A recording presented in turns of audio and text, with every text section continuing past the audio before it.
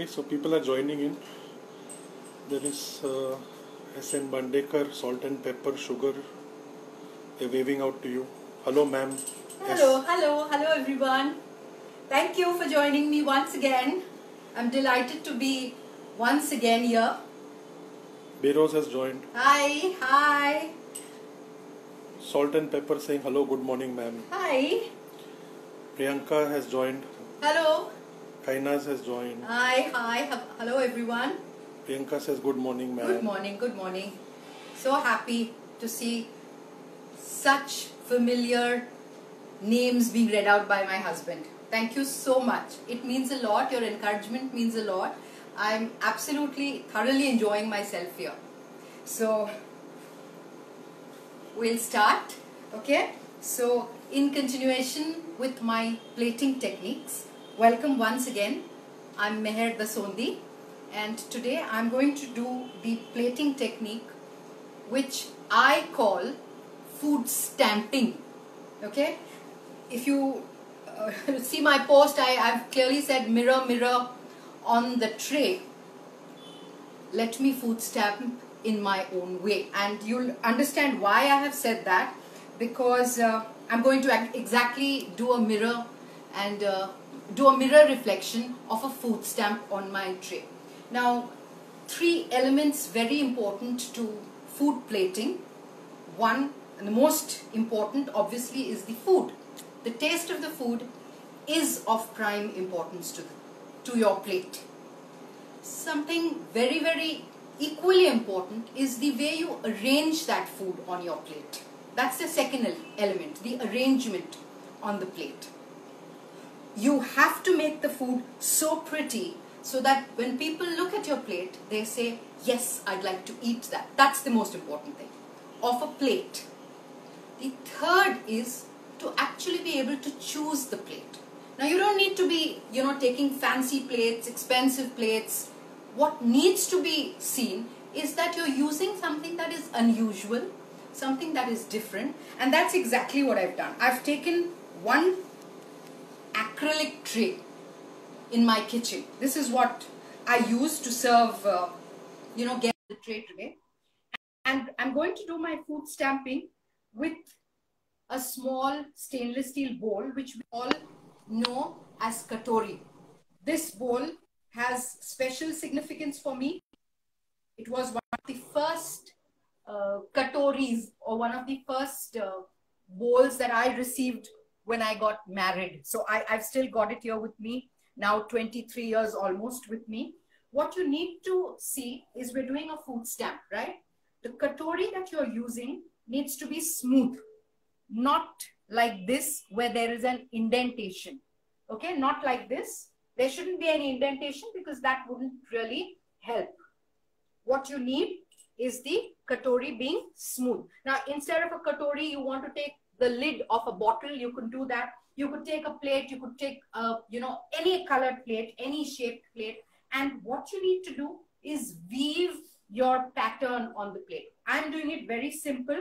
I'm showing you what i'm doing. Here I've made a very simple food, uh, you know, it's a mixture of uh, mayonnaise, homemade mayonnaise once again, along with a little bit of homemade green chutney. Okay, so this is what I call my little green godiva in my kitchen.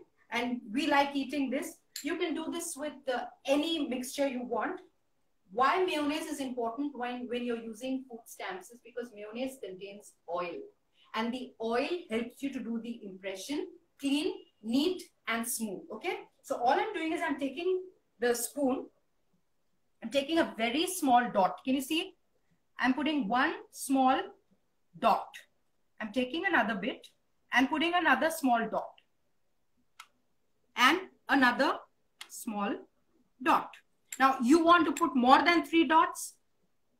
You may do so. I'm taking this katori. All I'm going to do is place it on this dot. And when I lift it up, I'm going to lift it up with a quick uplift, okay? And at an angle. So I'm placing it here, lifted up. Can you see that pattern that's come? That's my food stamp. Can you see that? Beautiful. Another one. Lifted up again. I've got another pattern. Once again, I've done that. Lifted up at an angle and I've got another pattern. Now, if you want to take this and extend it, you may put another three dots. You want to put that dot here, you want to put the dot in four corners and just have four different things. Or you use a plate.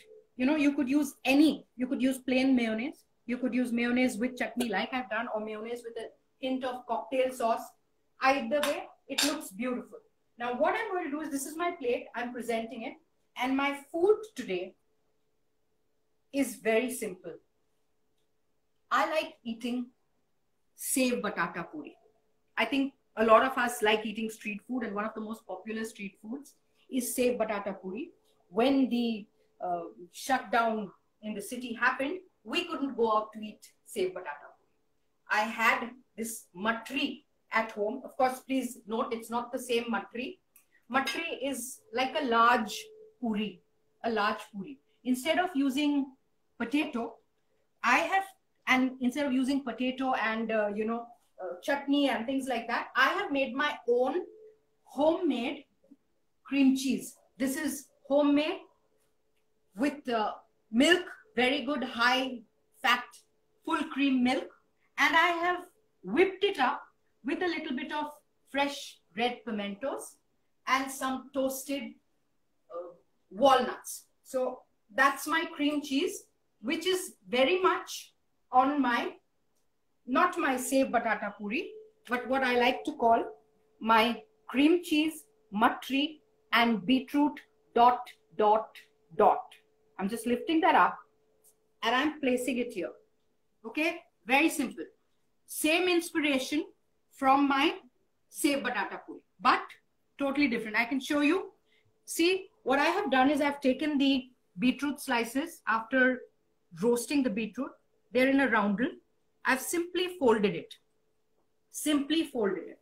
You can alternately also just halve the beetroot and slice it the way you want it and place that on your puri the way you want it on your mathri. This is how I have done it. So all I'm going to do is instead of sev batata puri, I'm making it like I've said, my mathri, cream cheese, and beetroot dot dot dot. One difference instead of taking sev, I have this homemade chevra, which is with sago or sabudana as we know it.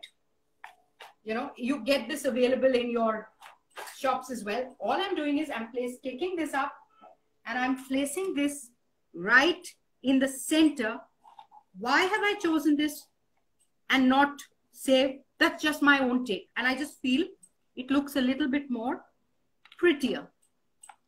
And that's my ready. Now for a bit of greenness on my plate. Once again, I've taken a leaf, a sprig, a small sprig of dill. And I'm going to place this right on it. And that's, that's it. See, it looks pretty. It looks simple and it's healthy. It's homemade cream cheese with roasted sliced beetroots. Dill goes beautifully with beets. So I've used that as my garnish. And I've used this homemade chevra which I've used to garnish it. I've kept a plate and instead of, you know, doing uh, doing a sev batata puri, let's be a little bit more adventurous, a little bit more, uh, you know, uh, making something different in your kitchen. Use your imagination, use your this thing, and you can plate whatever you want. The food style is food stamp. The dish is my version of my take on the very popular sev batata puri. Once again here, it is mathri, curd cheese and beetroot. Dot, dot, dot. I hope you've enjoyed that, guys. I've enjoyed it. Has uh, if anybody's got any questions, you could uh, ask me. So Cyrus Kama has joined, Ami Sampath joined, Lisa C9 joined. Hello. Well wisher says good morning. Good morning and thank you very much, all of you. I'm absolutely uh, delighted and very encouraged with the response that I'm getting. It's lovely to be here, and I'll be back once again very soon with another plating. Ratna has joined and Big Fat Panda has joined. They're all saying hello to you, waving out Hi. to you. Hi, everyone. And thank you. Thank you so much. Bye, guys. Enjoy it because that's what we're having now as our mid morning brunch.